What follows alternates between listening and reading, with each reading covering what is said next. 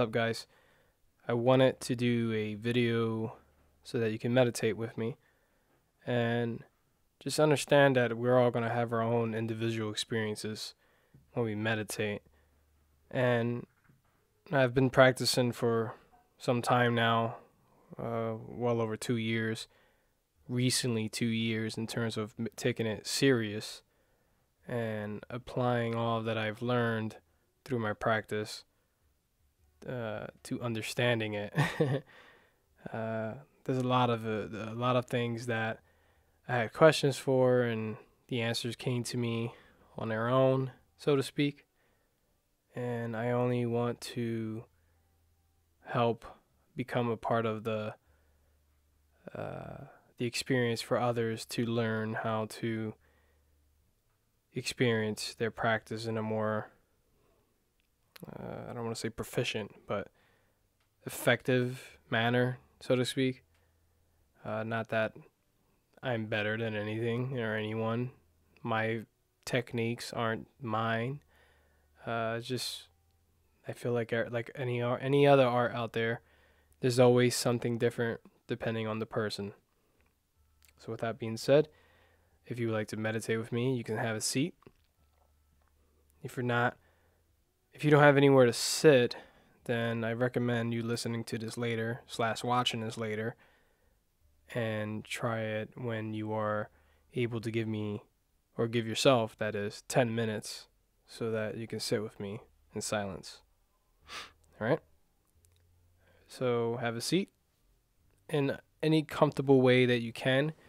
My suggestion or my preference is I have two foldable mats and I have one for my back because uh, it's flat, and I have one below me. Uh, and there's no cu- it's cushioning, it's comfortable, but it's, and it's not too comfortable. If that makes sense, right? So eyes closed, if you prefer. It's easier this way.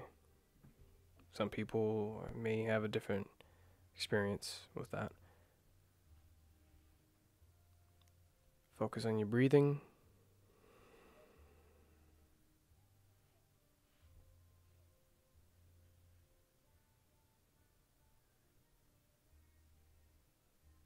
So you would inhale through your nose and exhale through your mouth.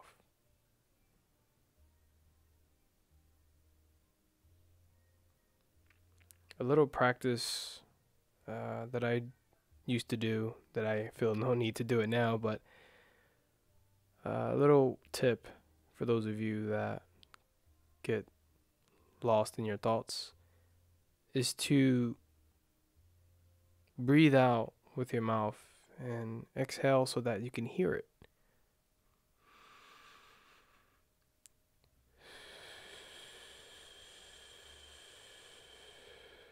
So there's no preference to how you exhale, but as long as you hear it, you hear that wind coming out or the sound of it, that is something to pay attention to. It helps you focus your attention on that breathing.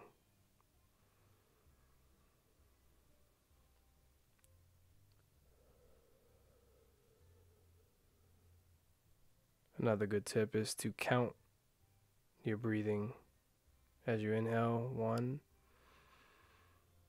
as you exhale two. Inhale three. Exhale four.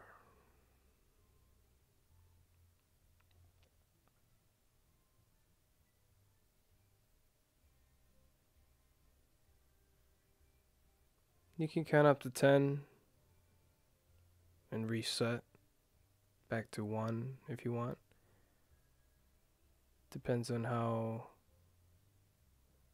you can keep your focus on your breathing.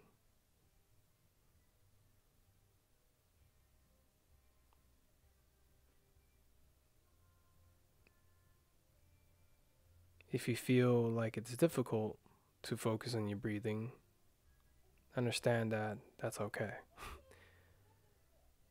it's a part of the process of learning to focus on your breathing.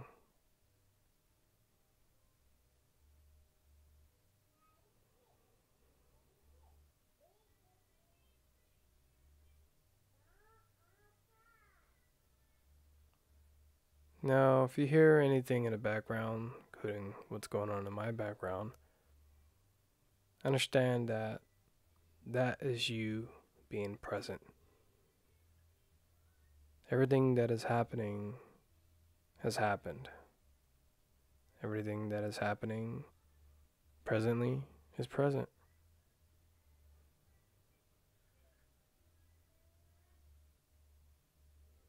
There is no perfect way to meditate. You don't need perfect silence. You don't need perfect feeling. Perfection is not something that brings you what meditation can do for you. Learning to let go of perfection, however, is something that binds you with what meditation can offer.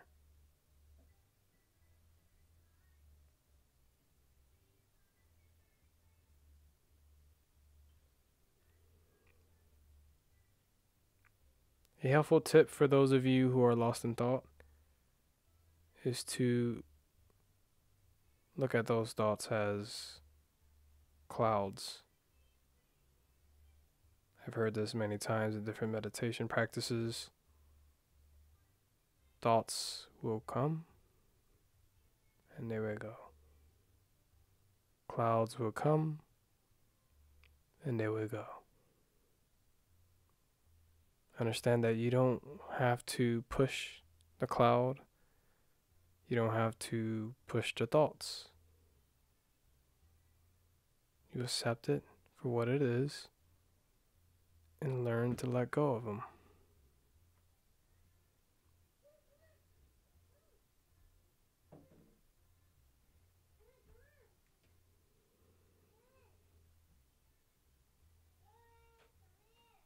For this practice, we're going to continue to focus on our breathing and learn to breathe.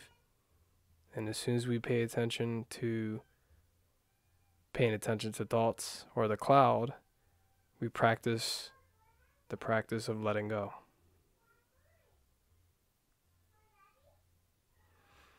Focus on your breathing.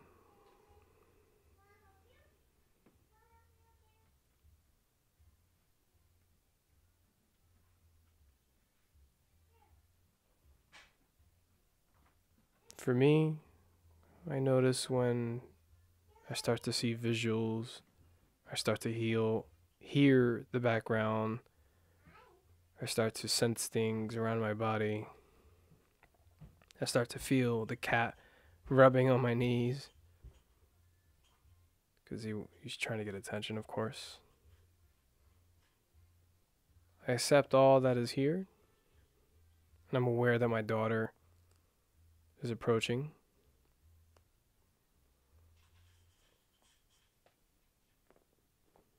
For you, whatever goes on in your way, as long as you're able to focus back in your breathing, that is the practice.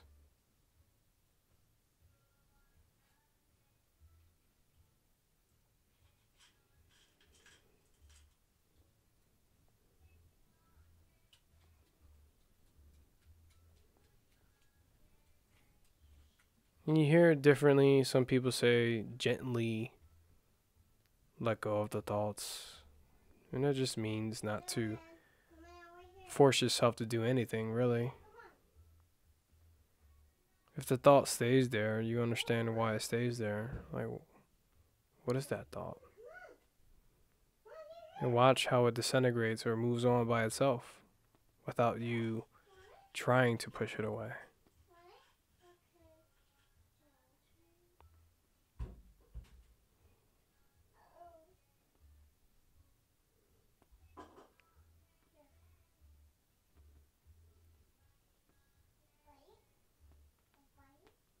I'm opening my eyes now.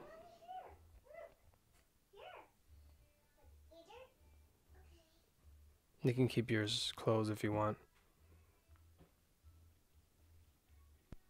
The eye open practice is to explore what consciousness is doing for you. you're not creating any of this that you see. You're not creating anything that you feel. You're not creating anything that you hear. It's all just happening. And this is very similar to what thoughts are.